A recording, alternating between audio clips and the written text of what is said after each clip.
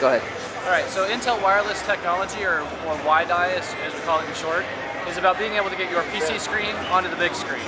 So any application, any media file with no limitations, anything that the PC can do, we can have put on the screen, all wirelessly. So no cables that you have to run out from your TV across the living room floor to you on the comfort of your couch, right? Uh, what we're really showing at CES this year, so WiDi's been around for two years, and what's new this year is uh, not only it's showing on all the different Ultrabooks, which is you know the cool new buzz from Intel and all the, all the uh, excitement around the Ultrabook category, but also the scale out of the receiver ecosystem. So this Samsung TV actually has a WiDi receiver technology and capability built directly into the TV. Um, and I'll show you actually switching how it shows up as a, just a, WiDi is just another input, just like an HDMI, except it's wireless. Uh, we also have it streaming to an AT&T uh, cable box. So this is the cable box your service provider already provides. It has WiDi technology built into it, which is actually what I'm showing on screen right now, is actually this is coming from the WiDi.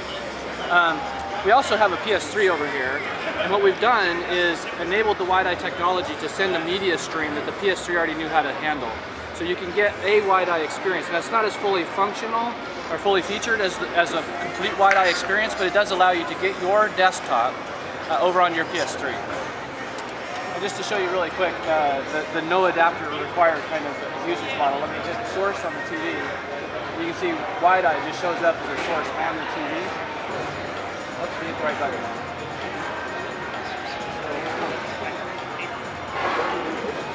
That's directly on the TV. And then come over here to the WiDi application on our laptop.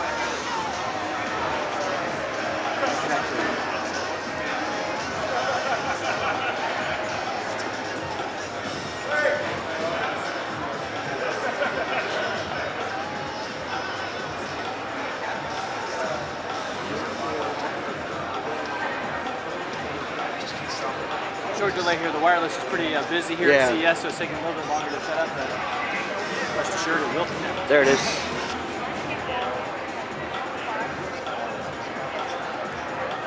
And this is in, a, in, an extended desktop mode, so we can actually run different applications here and there. But I can actually click on our Windows Media Player and actually just send the content. You just flip-flopped it, right? Yep. Okay. I use a hotkey to drag the window. Dragging is kind of, you know, slow. so I, I know all the hotkey shortcuts to move windows between uh, displays. So.